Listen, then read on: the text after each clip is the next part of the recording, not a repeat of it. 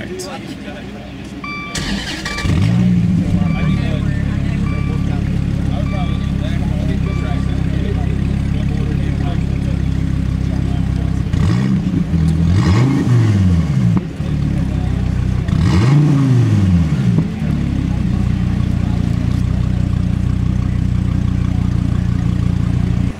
Is the new SRT Viper, and this particular one is the Viper GTS. So this is the, the top of the line model.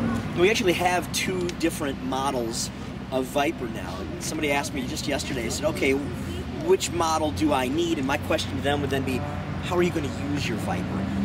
For the traditional Viper owner who liked that that raw power, that brute force, we still have that's the SRT Viper. and fourth gear. Still got that car, right? We got it. You Third bet. and fourth gear. But for the owner who wants something that they can take the wife to dinner in, who can do a weekend tour, who can truly have a grand touring car, that's what the GTS is for. Uh, 2010 was the last year of production, so we took off 11 and 12, came back for 2013 with this car. And the big reason why is because the government mandated that we put in traction control and stability management. By law, we have to have that in the car now. So to have that, we had to either rework the old car or take our time, do it right, and re-engineer. And that's really truly what we chose to do. And that's what you've got here right now. So let's talk about the exterior of the car. Everything on the car is functional. So every scoop, every slat, every vent that you see, everything's functional. Intake in, brake ducting down there, heat extractors coming up off the hood. The heat extractor does a couple of things. Number one, it lets the air from the radiator gets through the radiator, cools the engine better, and now has a place to go. On a solid hood, that air balls up underneath the hood can cause turbulence. So now we let that air escape. You get better cooling, you get better stability, and as the air comes along the base of the windshield, the base of the hood hits the windshield, you get downforce from the car.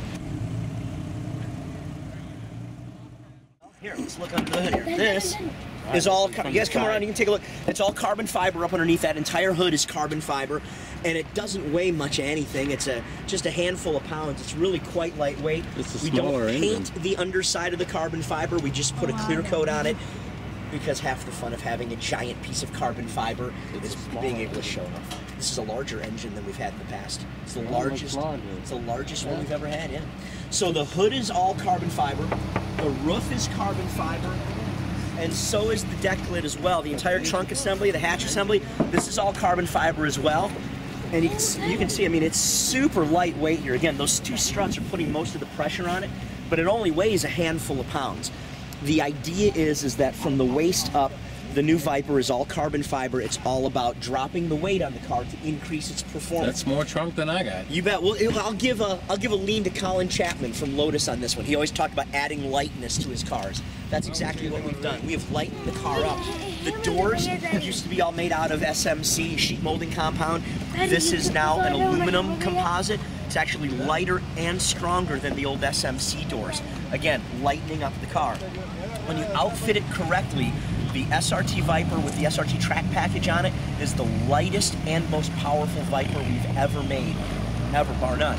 Uh, it's uh, 3,200 and change dry weight and 640 horsepower. It's pretty impressive uh, horsepower to weight ratio. Of course, we talk about horsepower, 8.4 liter V10. It's 640 horse, 600 torque. That is the most torque of any naturally aspirated production engine ever made. So you've got all the power, you've also got the stability. The chassis is heavily revised from the old one, 50% stiffer than the last 2010 model Viper. One of the big reasons is that X brace. This piece would actually fit right on the American Le Mans Series car. If we had it here right now, you could unbolt those eight bolts and bolt it right on the race car. It's the same mounting points. So you wonder how close the race car is. It shares a lot of the same technology. Uh, theirs is made out of carbon fiber, weighs a little lighter, you know, but uh, but it works out pretty well. All right, let's talk suspension. Between the SRT and the GTS, got a little bit of a difference here. The SRT is uh, traditional springs and shocks, non-adjustable. It is what it is. It's super stiff. It's again racetrack setup, racetrack ready to go. On the GTS, you have Bilstein's Damptronic system, which is their adjustable system. You can actually see uh, down in the back of the wheel well. It's a little dark back in there, uh, but there's actually uh, the remote reservoir right back down in there, and it's got the braided steel line that goes on up to the shock absorber, and that gives you a selectable choice between street mode or race mode. When we go out for a drive, you can actually go out. We'll switch in between. It's just a push button right on the dashboard. Yeah, nice and easy. Um, and by default, it's in street mode, so it's in the more compliant setting. Um, but then you hit the, the race mode and it's it's rock stiff. It's really noticeable. In fact, the engineers on the car they, they, they said, you know, there's so many cars out there that have sport button or race button or whatever button they call it from the manufacturer. You push it, it really doesn't do a whole lot. And they really wanted to make sure that when you pushed that button, you felt something happen, and you really do feel the difference. So you'll, you guys will get a, get a Are other settings uh, changed at the same time, or is that specifically? It, it's right on the suspension. Yep, it's right on the suspension. So it's a shock uh, shock uh, optimization mode essentially. Now, differences in the electronics between the SRT and the GTS. The traction control is different as well. On that car, it's either on or off. It's two mode. You got it. You don't have it. Push the button. On the GTS, it runs four ways. By default, it's full on. Press the button, it turns it off. Uh, it's uh, it's traction and stability reduced. Press it again, it's traction off, stability reduced. Press it, hold it for 10 seconds, and it's everything's off. Time to go call your Pirelli dealer because you need new rear tires. So that's kind of how that that system works there.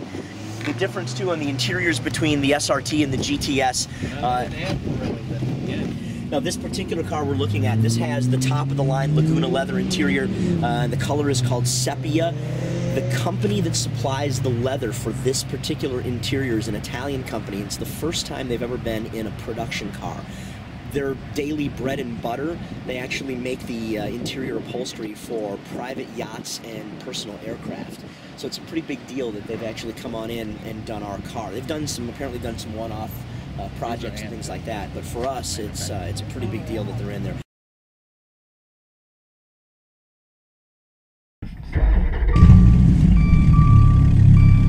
Stryker logo on the tack there. This one's all wrapped. Liner. Got everything. Absolutely.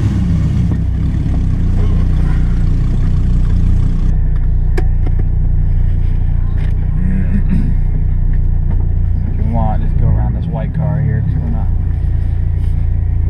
You guys ready back there? Yeah, we're ready. Alright, yeah, go on ahead here.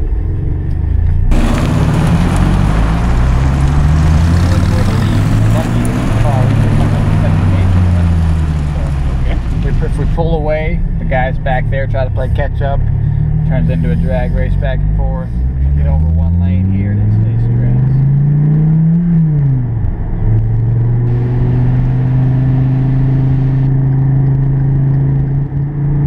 I love these GoPros, man. They're nice.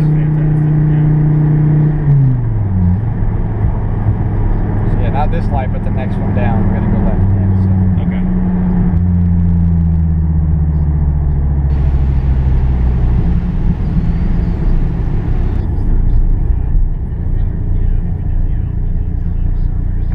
Yeah, these hero are nice. Oh, aren't they? This is this one is actually the top of the line edition here. So Huge Little short throw shifter. I mean, it's got it's got everything, all the bells and whistles. It's got SRT mode. And it's got SRT performance space. Basically, like having an engineer, you know, in the car with you. I mean, it tells that's you nice. all, all your temperatures, your telemetries, your you know, suspension compression ratios, G-force, anything you need to know.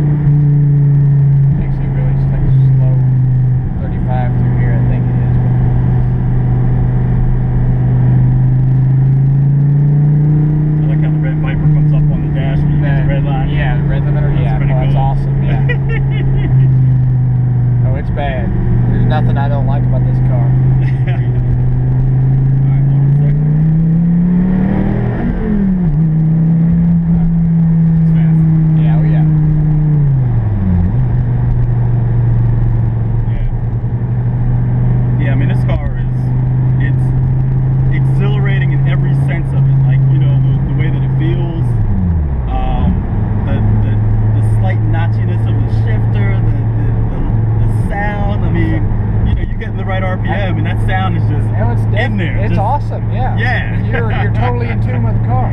Yes. How do you like the clutch? Does the clutch feel pretty firm to you? Um, yeah, yeah, and I'm getting used to it now. It's got a little bit of a long travel for me. Yeah. Um, you know, my legs are kind of short, so Yeah. But Uh, the good it- thing about that is you can adjust it. You know what I mean? Like, Right. the throw is not.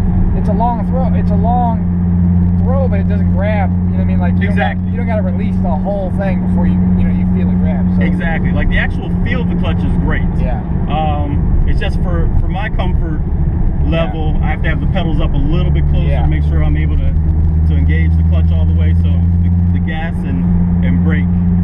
Um, Yeah. I'm gonna go left at this light here. Okay. Whoops, wait a minute. Yeah. Right here. Right here, okay. So like the gas and brake is a little bit closer for the way that I Yeah. like my my legs to be. You know, and again that's more of an issue with stature than Right. anything else, you know. Oh, I can relate. Trust me. I'd rather have good control in the clutch than Yeah.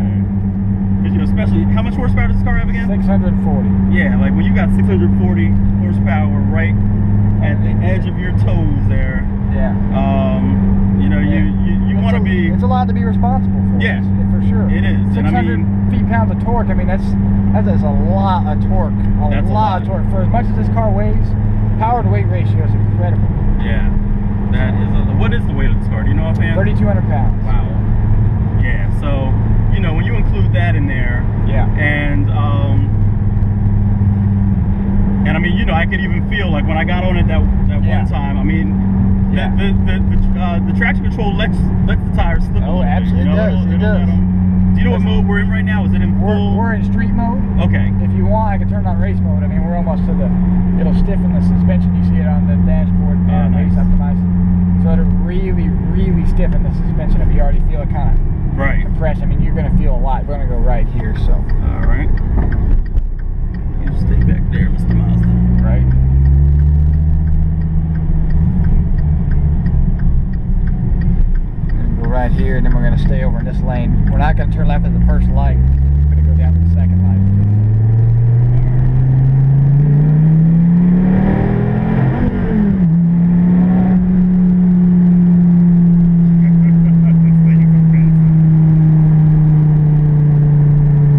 What's that? Oh hell yeah!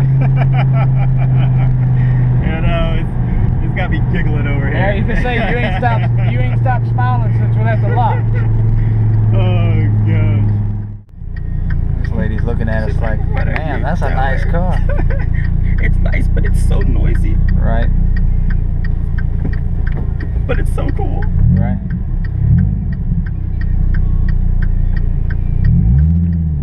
So you said uh, uh, you guys were saying that this model is around 130 or so, This particular one, yeah, running about one, mid 130s. and this is the GTS. This is a top line GTS, good as it gets. okay, and then the base model, the SRT. Well, base. it'll start at 97. Okay. Um, like the white one we have on display or to drive. I don't know if it's here. Yeah, that one down there. That one's a 97. Start at 97. Would you guys get mad if I mashed it again real quick? What's that? Well, no, go ahead.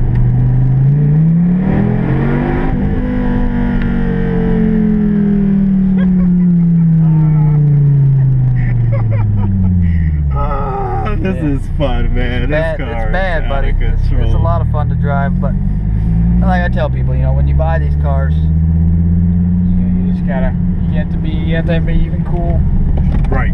collected mindset. I mean, you can't just. Yes, you do, because these cars will get you hurt. It takes a lot of second. it takes a lot of responsibility. Like you said, you're responsible for a lot of horsepower right underneath your toes. So. Exactly. Should I Well, pull him behind or yeah, go up in front? go up around him there. Okay. Just pull right behind the white one. All right.